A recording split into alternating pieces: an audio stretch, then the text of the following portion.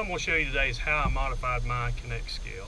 Um, Ott DeFoe actually did this, so I figured I'd show you how you could do it. Uh, but what we did, put this in a vise, and I opened up the, uh, the actual hook that's on there, the metal hook.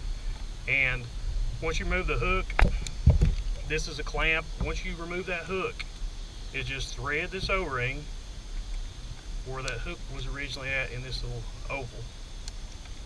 And here's what you got. You got a clamp. You don't have to worry about the hook. You can clamp the fish now. You don't have to worry about, you know, what the hooks, if the hook's going to damage anything. But it's just a, just a way to make a great scale even better. This is the fish we just caught. We're going to turn the scale on. And there it's zero. So we take our clamp, simply just clamp it in the fish's mouth, and then we wave them that way. It's a small keeper, weighs 205. So clamp it, don't puncture the fish. That's a little quick way to use.